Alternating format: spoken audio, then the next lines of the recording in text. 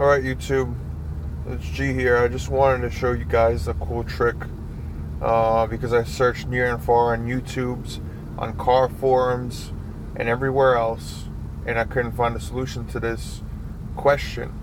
So my initial question was, how do you remove the dash part of a Ford E250? Um, there was no instructions anywhere. There were instructions for Ford F250s, the F Series, and also like um, the Expeditions and Explorers, but nothing for the E150, 250, or 350.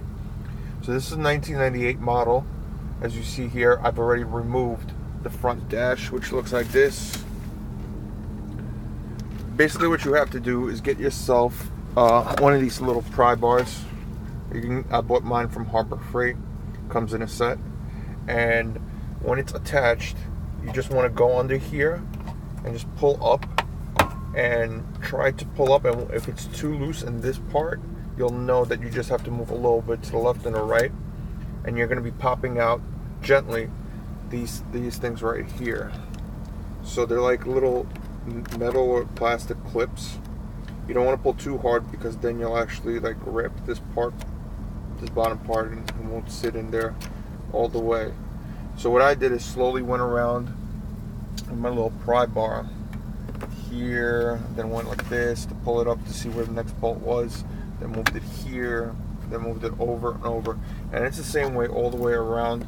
There's about, let's see, one, two, three, uh, four, five, six, seven of these little clips.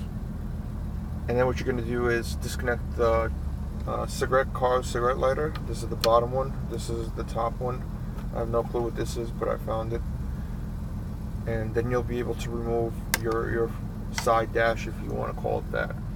Now the trickiest part of all is this side here because this is the dashboard cover if you guys can tell and there's clips in here too but the, the way the clips work here is that this side will be looped in let me see if I get you a better picture yeah this side here will be clipped in and there's a middle one and a bottom one.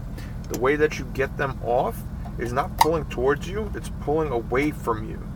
Because on the side here, this side has its own clips. One right there, wait, sorry. One there, one there, and then up there. And um, when you push it away, it'll release the whole dash and you will actually have your result. Uh, some of the reasons that somebody might do this, if they want to adapt a button like I have my button here for the light bar that I have in front of my truck. Pretty cool.